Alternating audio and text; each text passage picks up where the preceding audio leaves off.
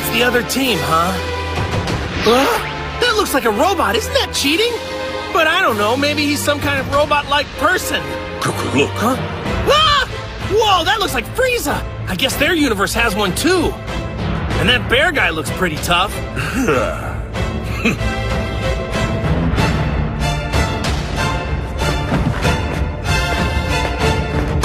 Hello, gentlemen.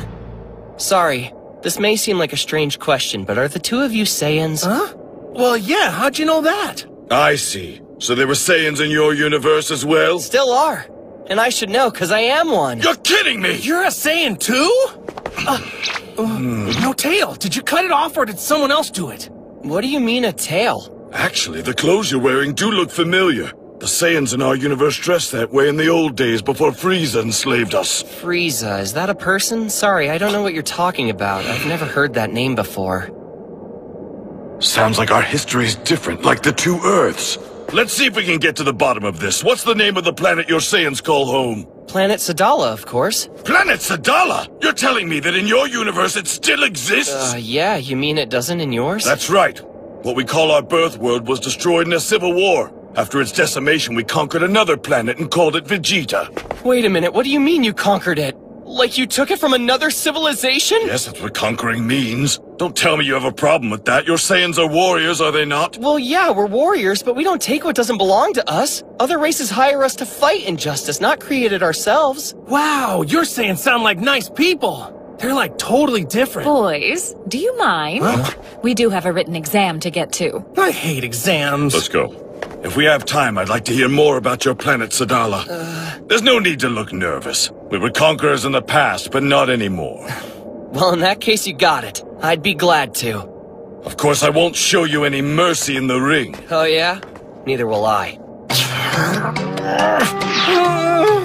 What you see before you are simple questions designed to ensure you possess the most basic degree of intelligence. You have 10 minutes to complete the test, score higher than 50 points, and you pass.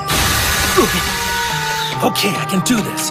So the kid goes to the store and buys 13 breads, or uh, 13 loaves of breads, whatever. But on the way back from the store, he runs into three friends and gives them all two loaves each, because he's obviously a nice guy. No reading out loud or you will not pass. then how am I supposed to think? Quietly. Ah, what do you mean we're down to four? We haven't even started fighting yet. We couldn't do anything about it. Once Boo falls asleep, there's no waking him up. Trust me, we've gone through this before. I told you he wasn't a good choice for our team, but you wouldn't listen, would you? Don't blame me. You're the one that suggested the stupid test. That's enough! It just means you're responsible for an extra opponent now. Lord Beerus? What do you want? I'm sorry, but we have to decide the order of our contestants now. Ah! Oh. Fine. Monaka fights last. Use rock, paper, scissors to decide the rest. That works for me. One, two, three.